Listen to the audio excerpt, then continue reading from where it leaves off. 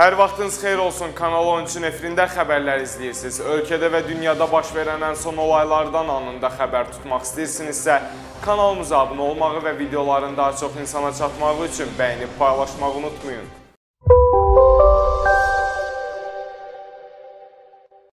Bakı metrosunda törədilən terror aktından 26 il ötür. Terror aktını törədən 11 nəfər cinayət məsuliyyətinə cəlb edilib. Onlardan ikisinə ölüm hökmü verilib.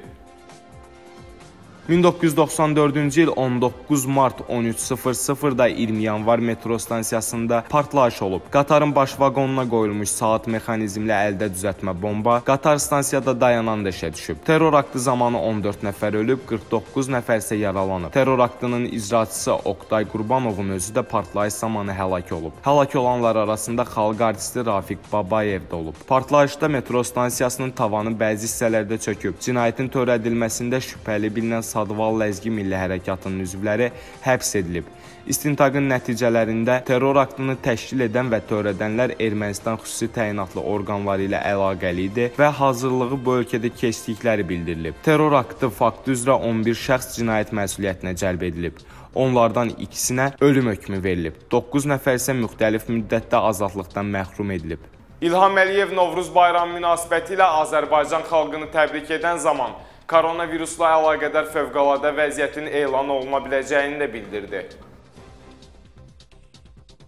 Ölkə başçısı bu xəstəliyin yayılmaması üçün ilk növbədə bütün dövlət tədbirlərinin ləğvi ilə yanaşı vətəndaşlar da məsuliyyətli olmağa çağırıb. Həmçinin İlham Əliyev kimsə özündə xəstəlik simptomu hiss edərsə, dərhal həkimlərə müraciət etməli, dərhal özünü təcrid etməli, kütləvi yerlərə getməməli, lazım olmadan kütləvi tədbirlərdə iştirak etməmələrini vurğulayıb. Bu tədbirlər artıq ləğv olunub, amma istisna deyil ki, hansısa məsuliyyətsiz adamlar qaydalara uyğun olmayan hərəkətlər etsin. Bu xəstəliyin hələ nə nəyə gətirib çıxaracağının bilinmədiyini, ona görə bu xəstəlik dövründə tamamilə yeni münasibət qaydalarının mövcud olacağını bildirib. Ölkə başçısı nə vaxtsa fövqəladə vəziyyətdə elan oluna biləcəyinin istisna edilmədiyini bildirib. İlham Əliyev ciddi tədbirlər görüləcəyi ilə bağlı əhaliyə xəbərdarlıq edib. Bunu xalqın sağlamlığı dövlətin təhlükəsizliyi olduğunu bildirib. Martın 14-də elan olunmuş qaydalara əməl etməyən şəxslərin isə çox ciddi məsuliyyətə cəlb ediləcəyini vurğulayıb. Hər kəs bilsin,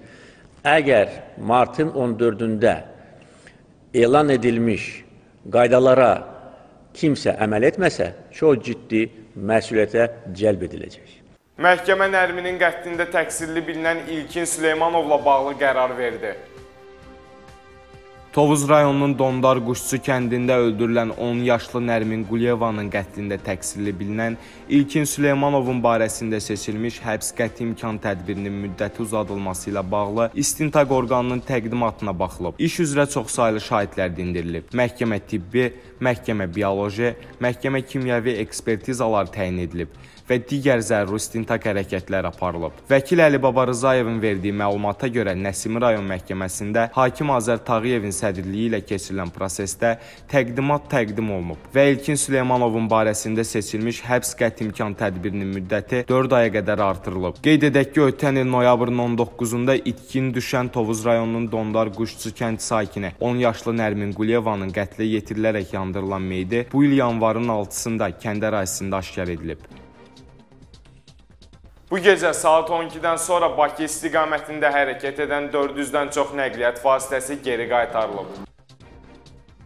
Dünən axşamdan etibarən Bakı şəhərinin giriş yollarında paytaxtın mərkəzi istiqamətində nəqliyyat axınının xeyli artdığı müşahidə edilib. Bəzi saatlarda nəqliyyat axınının daha da artması tıxacların yaranmasına səbəb olub. Bu gün isə Bakı-Sumqayıt yolunun paytaxta gələn hissəsində, həmçinin Bakı-Ələt yolunda sıxlıq müşahidə edilib. Baş Dövlət Yol Polis İdarəsindən verilən məlumatda rayon qeydiyyatında olan nəqliyyat vasitələrinin və şəxslərin Bakıya girişinin məhdudlaşdırıldığı və şəhərin giriş hissələrində postların təşkil edildiyi bildirilib. Daxili İşlər Nazirliyinin Baş Dövlət Yol Polis İdarəsinin İctimaiyyətlə Əlaqələr şöbəsinin rəisi Kamran Əliyev açıqlamasında bu gecə saat 12-dən sonra Bakı istiqamətinə hərəkət edən 400-dən çox avtomobilin geri qaytarıldığını qeyd edib. Kamran Əliyev bu nəqliyyat vasitələrinin qaytarılmasının təkcə Qaradağ rayonu istiqamətində qeydə alındığını da diqqətə çatdırıb. Belə ki, qaydalara riayət etməyənlərin çox olduğunu, vətəndaşlardan bəzilərinin vaxtı, bəzilərinin isə hava şəraitini və digər bu kimi səbəbləri bəhanə etdiklərini, amma bu kimi bəhanələrin nəzərə alınmadığını bildirib. Sonda isə məhdudiyyətin martın 29-na kimi davam edəcəyini, qadağanı pozmağa cəhd edən şəxslərə isə ciddi intizam tənbihi tədbiri görüləcəyini vurğulayıb.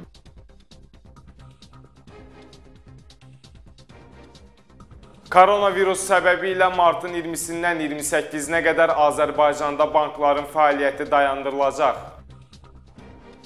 Azərbaycan Mərkəzi Bankından verilən məlumatda COVID-19 infeksiyasına qarşı mübarizə çərçivəsində Azərbaycanda bank xidmətlərinin göstərilməsi zamanı canlı təmasın minimuma endirilməsi məqsədi ilə yerli bankların da Novruz bayramı günlərində, yəni mart ayının 20-sindən 28-nə qədər fəaliyyət göstərməyəcəyi açıqlanıb. Bununla belə idxal və ixracın fasiləsizliyini təmin etmək məqsədi ilə hüquqi şəxslərə hesablaşmalar, vergi, rüsum və digər dövlət ödənişləri ilə bağlı əməliyyatların elektron əsasda davam etdiriləcəyi bildirilib. Sokar və Norveçin Equinor şirkəti Xəzər dənizinin Azərbaycan sektorunda Bakıdan 120 km şərqdə açıq dənizdə yerləşən Qarabağ neft yatağının kəşf olunduğunu təsdiq edib. Sokardan verilən məlumatda Qarabağ neft yatağında ilk qiymətləndirmə quyusunun qazılmasına 2019-cu il dekabrın 23-də başlanıldığı bildirilib. Sokarın CDC qazma şirkəti bu quyunu suyun 180 metr dərinliyində Dədə Qorqud üzən qazma qurğusu ilə qazılıb. Yatağın məhsuldar layları 3,4 km dərinlikdə yerləşir. İlkin qənaətə görə neft yatağında kəşf edilmiş neft və qaz həcmləri onun iqtisadi cəhətdən səmərəli işlənməsi üçün yetərli hesab olunur. Sokarın prezident prezidenti Rövnəq Abdullayev Qarabağ neft yatağının müstəqillik dövründə kəşf edilmiş ilk neft yatağı olduğunu, neft yatağının ilk qiymətləndirilmiş geoloji ehtiyatları 60 milyon ton neftdən artıq təşkil etdiyini bildirib. Rövnəq Abdullayev qiymətləndirici quyunun layihə dərinliyinə müvəffəqiyyətlə təhlükəsiz şəkildə və vaxtında çatdırılması Sokar və Equinor şirkətlərinin birgə səmərəli səylərinin nəticəsi olduğunu, Qarabağ neft yatağının işlənməsi Azərbaycanın neft gəlirlərinə əhəmiyyətli bir töhfə olacağını qeyd edib. Sokar və Equinor neft şirkətləri 1994-cü ildən bir sıra mühüm layihələrdə, o cümlədən Azəriçıraq və Dərinsulu günəşli neft yatağının işlənməsi layihəsində əməkdaşlıq edir. Sağ olun, daim yenilənən kanalımızı izləməyi unutmayın.